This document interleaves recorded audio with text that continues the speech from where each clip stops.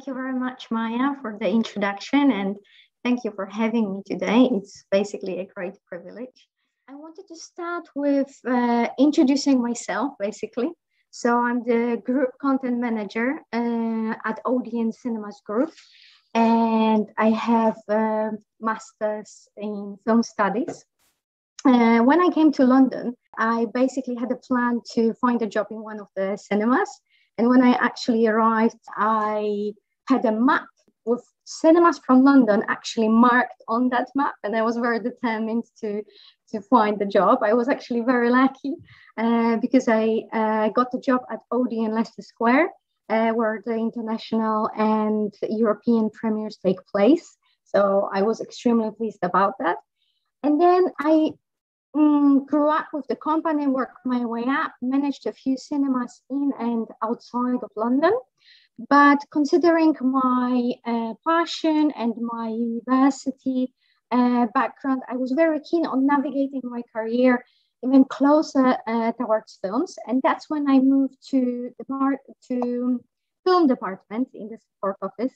Uh, and first, for the first few years, I worked in the UK team where I had ability to make direct decisions about the lineups of UK cinemas. And then following AMC acquisitions of Odeon Cinemas Group, I moved to uh, the group role because I was very keen on developing my knowledge uh, about cinema industry in other European uh, countries. Now, uh, so Odeon Cinemas Group is Europe's largest exhibitor with nine European territories and are market leaders in several major markets. What's worth mentioning as well is that Odeon um, Cinemas Group is also a wholly owned subsidiary of AMC in States, forming the largest exhibitor globally. And my role of the group content manager involves overseeing specialist programming across all cinemas uh, of Odeon Cinemas Group in nine countries. And that includes foreign language cinema, alternative content, back catalog, and special screening opportunities.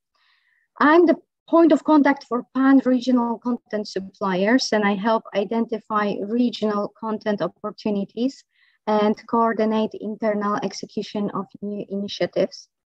Now, I would like to give you an example of a task which I carry out on a regular basis. So it's slightly easier to understand what my role involves.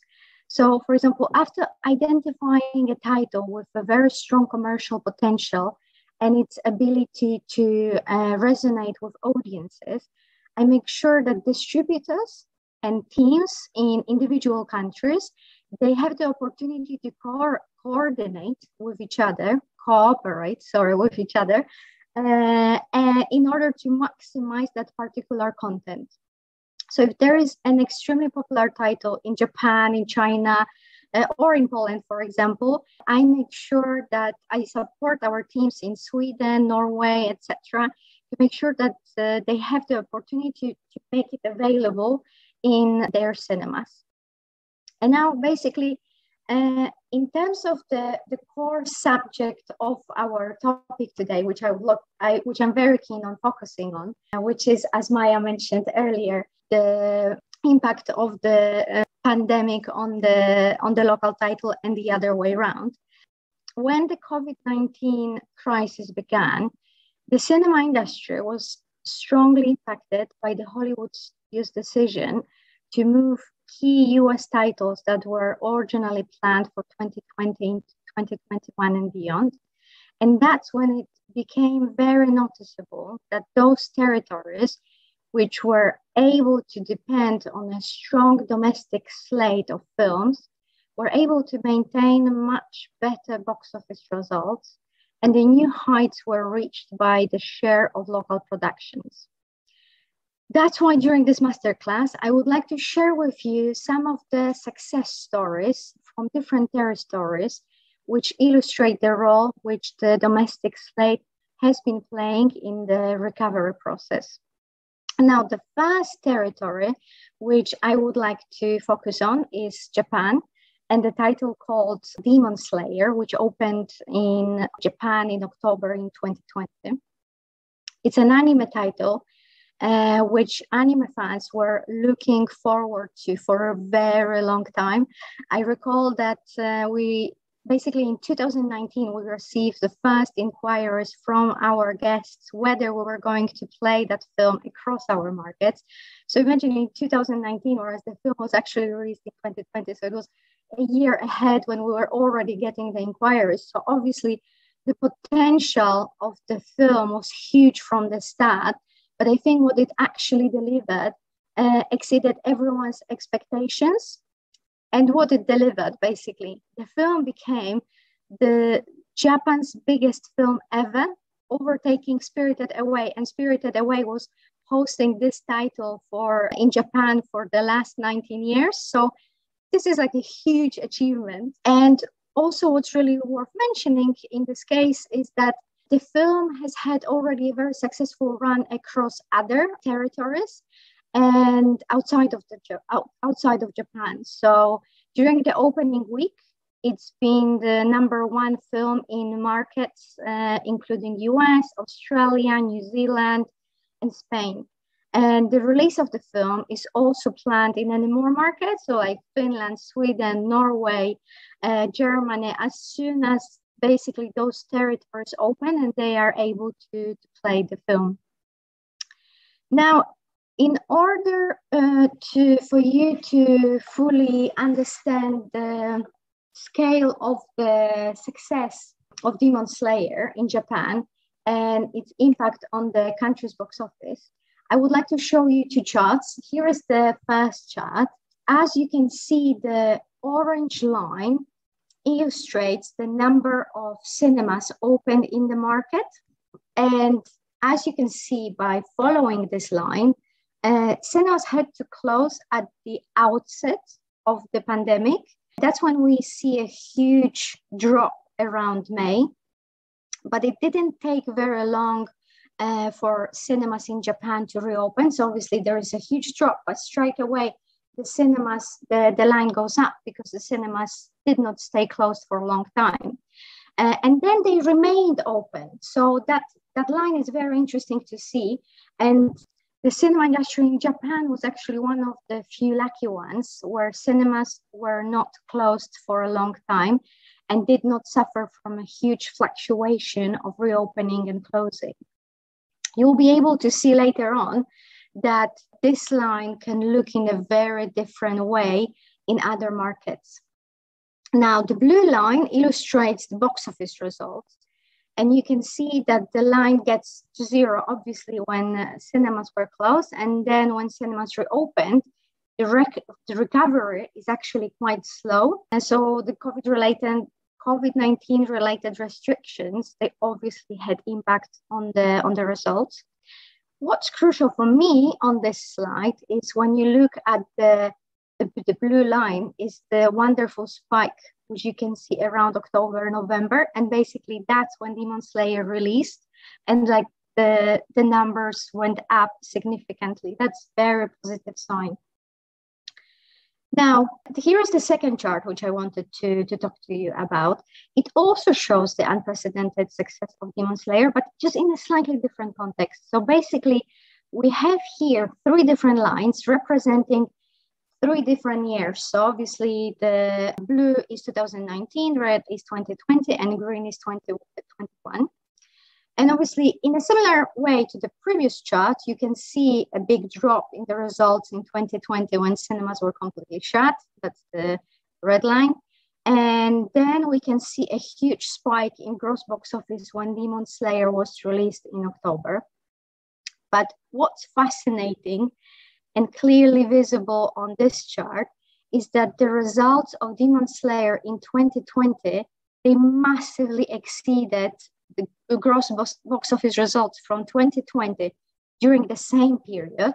So basically, if we compare the red line with the blue line, obviously in, in the same period, the red line is much higher. But what's even more interesting is that the red line, thanks to Demon Slayer, is actually above the blue line everywhere, which means that basically the Demon Slayer managed to achieve results stronger during any other period in 2019 which is absolutely fantastic. And this all-time record demonstrates that even with the social distancing limits, it was uh, 50% at that time, people were ready to return to cinemas at record levels in order to see a title which they were waiting for. It's, I think it's also worth noting, obviously, for me with my passion for cinema, that this was challenging time and this was a huge demand and actually cinemas were able to accommodate and, and ready to do that. So they coped with the massively increased demand during those times when restrictions were in place. So overall that's very interesting and as we're on the subject of how important individual titles are in driving market attendance volumes I think it's impossible not to mention another extremely important Asian market, China. So a Chinese title which achieved historical results is called Detective Chinatown 3. It opened in February 2021. And basically, only after three days, it made nearly $400 million.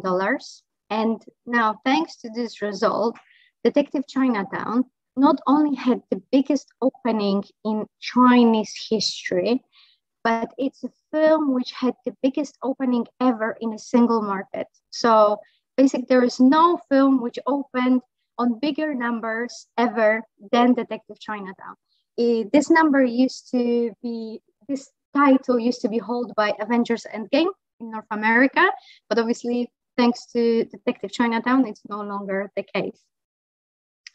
Now, I would like to show you those two similar charts which we were looking at when we were talking about Japan. So in a similar way, orange line shows you a number of cinemas open. And as you can see on this chart, the period when cinemas were closed is actually much longer in China than it was in Japan. Like the, the red line gets to zero and stays on zero for longer. In the same way as with the Japanese chart, the blue line indicates the market box office. You can see a huge spike in the results achieved uh, in February thanks to Detective Chinatown in February. So basically, it's that one last spike which you can see on this chart. However, what's very interesting on this chart is that there are actually multiple spikes. So it's not like it's you know the the blue line is on the bottom bottom and then suddenly we have the release of the of detective chinatown and the line goes massively up you can see that there were moments when the chinese market was performing extremely well and so the spike in, at the end of august that was achieved thanks to a local war movie the 800 and there is another interesting stat related to that film the 800 because it's the world's highest grossing title of 2020. Then at the beginning of October, there was a week long National Day holiday in China. And that was actually key milestone for Chinese market because that's the moment when the box office bounced back to its pandemic levels, achieving the same level of gross box office as it was registered in the same period in 2019. Now, during this holiday, during this period, just at the beginning of October, two t- titles played a crucial role in achieving this fantastic benchmark. One of them was a comedy called My People, My Homeland. And then the second one was animation, Legend of Deification. And it's interesting to, to note that in consequence of those two releases, during the first week of October, 96% of gross box office uh, in China was actually made by local films. And finally, the, the, the, last spike, which I haven't mentioned so far, that was in January and was generated mainly by two new local releases, A Little Red Flower and Warm Hug. So this chart proves that the right mix of competitive new local titles can create a big demand. Now, here on this chart, similarly to, to the other one, like where you see those three different years aligned with each other so you can compare them, you can see that basically the there is a huge spike of the green line And that shows you that Detective Chinatown 3 performed extremely well considering the level of the business doable during the pandemic. But it also was a huge success even in comparison with 2019. And what's interesting on this slide is that when you see all three years alongside each other on this chart, on this chart, it shows that the reliable stream of local content has allowed China maintain something close to pre-pandemic attendance levels since quarter four 2020 and that's closer that most or any other markets were potentially potentially able to achieve in spite of a reduction in available international Hollywood product. And then, so having all of these great results in mind in China, actually, it wasn't a surprise to see the announcement that China overtook North America as world's biggest box office in 2020. And then, so obviously, as I previously mentioned, that a reliable stream of local content helped mitigate the impact of a reduction in available international Hollywood product in China.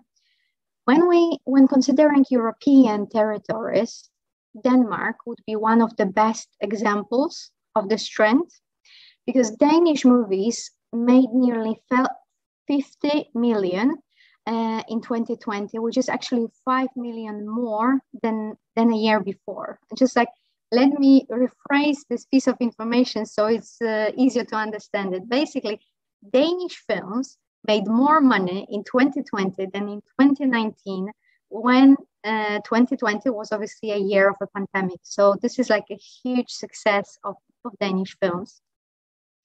In consequence, uh, Denmark is a country which had one of the lowest box office drop in Europe in 2020 in comparison with 2019. So you can see how much those local titles in Denmark supported the, the market overall.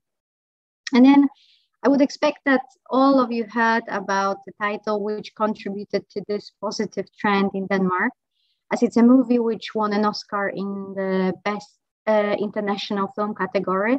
And also, the director of the film, Thomas Vinterberg, was nominated for Best Director. Another round uh, is the clear number one among a handful of national titles that saved the Danish cinema year in 2020 and mitigated COVID 19 uh, impact on cinema going as it was the fourth best selling Danish film in 20 years. Now, the role of local um, content played in uh, Denmark in 2020 is outstanding, but in general, all the Nordic countries are considered as markets with very strong presence of domestic titles, even during the regular times. And we could see the positive impact of this trend also throughout the pandemic. And now, uh, Børning 3, which is often introduced as Norwegian Fast and Furious, uh, is a great example of a local film which supported box office in a different Nordic country, Norway this time. It was basically the top title in 2020 in Norway and as you can see on the slide, it delivered 70% of warning to the previous installment in the franchise. Now, Norway, in a similar way to many other uh, markets, had fantastic start, very promising of 2020. There was a rise in admission, both in January and in February 2020, uh, in comparison with 2019 basically that's uh, if you look at the slide at the chart that's the moment when we see the red line ahead of the blue line. So obviously everyone was very optimistic about the beginning of 2020 and then obviously uh, the you can see how drastically the red line plunged and carried on with zero gross box, box office for a number of weeks because the cinemas had to close. And Børning 3 was released in October 2020 and that's when you can see a huge spike on the red line, indicating significant increase in gross box office. In this case, however, the overall result of the market did not exceed results from the previous year. uh, like we could see in the case of Demon Slayer in Japan or Detective Chinatown in uh, China.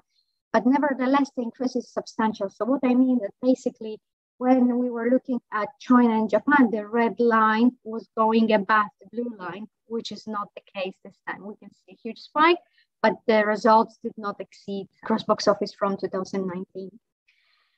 But it's you know it's really important that local movies registered a record market share of over 35% in Norway in 2020, which is over 10 points more than the previous uh, record, not previous year, but previous record. And the previous record was 25% market share from 2019. And Børning 3 being the top title of 2020 made a huge contribution to this achievement. Now, local titles also made a huge difference in uh, southern, southern countries in Europe. In Spain, the sequel of a very popular comedy Padre no hay más que uno dos, uh, which means Father, there is only one two, had the biggest opening in the market in 2020. And during the opening weekend, the film delivered 70% of market share. And um, Padre no hay más que uno dos delivered 96% of the first installment. However, I think what's particularly worth highlighting in this case is how early in the recovery process the release happened. So the release was last summer. The release of the film was happening last summer. So it was basically before all the uh, any major Hollywood titles, and basically even before the industry, and that's when industry and the guests were still learning what cinema in the pandemic looked like. So Actually, it's the, the release of this film is the earliest example of local products' unique ability to drive healthy business levels. And the filmmakers and distributors behind this film realized that their movie, like other like other uh, local titles, had to primarily consider local audiences, not whether the rest of the world is open already for business. And basically, they saw that the audience was ready for their product.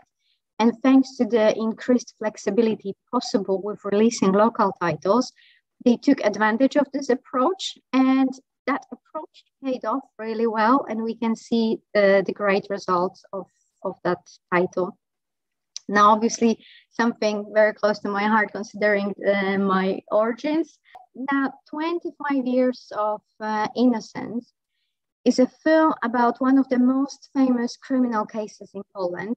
It's a story which was basically closely followed by the entire country because the man was convicted of the murder of a teenage girl, but after 18 years of imprisonment, the court found the man innocent and decided to release him. What's interesting is uh, that this film is one of the two titles which kept Polish box office afloat in 2020 after the outbreak of the pandemic.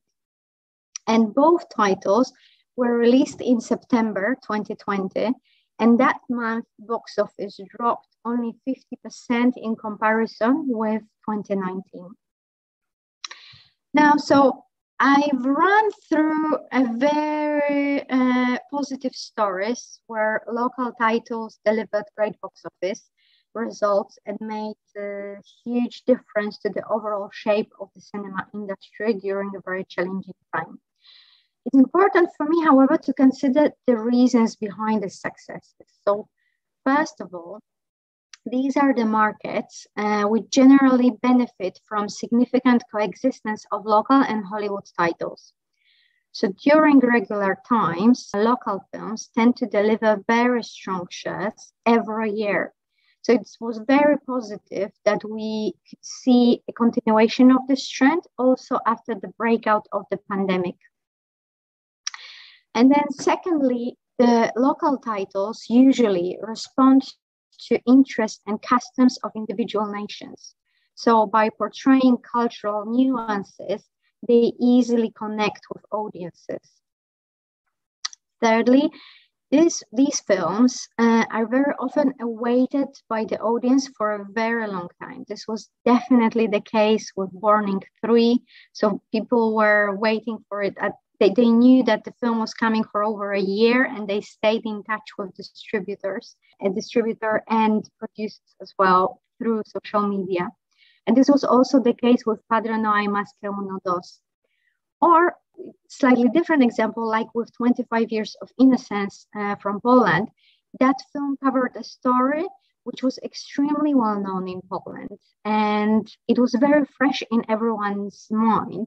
So, film about this topic resonated really well with audiences.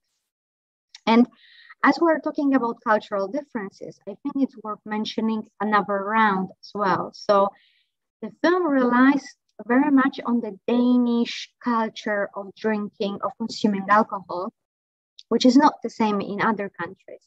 And it was interesting to uh, hear that as soon as the film won an Oscar, we could read articles announcing that American remake of another round is planned in the US and Leonardo DiCaprio is expected to play the main role a lot of skepticism accompanied these headlines, as many doubt whether it's possible to translate the Danish culture of drinking to American and whether the film could maintain its essence after these changes.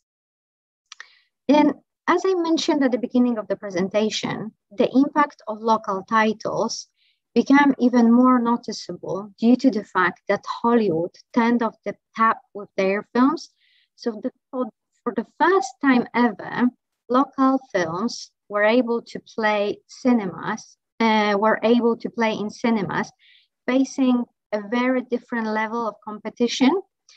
This was also a very important factor behind the success of these local films. Now, things, as we know, been very volatile throughout the pandemic, including the film slate. But this actually, to some extent, had its surprising benefits of allowing producers, distributors, and exhibitors identify the best possible spot on the release calendar and having potentially more flexibility with this area, within this area, than during the pre-pandemic times when dates of film premieres can be announced a few years ahead of an actual premiere, making any movement within this area far more challenging. And then finding a right spot on the release calendar is actually one of just one of the examples of the increased collaboration between producers, distributors, and exhibitors, which we could observe during these releases with, within the, the work around these releases. The close partnership also boiled down to increased marketing efforts and making sure that the message about the film could reach the audience. But as we're on the topic of marketing, it's also worth reconsidering that during these unusual times and in consequence of a different level of competition which these films were facing, the availability of marketing channels was very different. Normally, a number of films fight for its presence and visibility, and during the pandemic, it has been easier considering the limited number of premieres. Now, what are our learnings from the experience gained during this period? So, the lack of new US tentpoles allowed local titles to achieve all-time record market shares in some markets. So it was 50% in Denmark, it was 41 in Finland, 36 in Norway, just to list a few. It's very noticeable that those territories across Europe which are which were able to deliver and depend on a strong domestic slate of films in general performed better during the pandemic and dropped less in 2020 in comparison with 2019. Denmark is a fantastic example here because uh, as I've mentioned, it was one of the markets which dropped the least in, in 2020 in comparison with 2019. So its box office dropped 47%, which is far less than in other countries. Whereas on the other hand, markets which strongly rely on the US product, were hit harder by the crisis caused by the pandemic. And to put things in perspective, for example, UK and Ireland dropped 75% while having also the extremely strong quarter one before the pandemic started. So you remember when I was talking about Norway that they had very strong start of the year in 2020 that in January and February they were ahead of the previous year.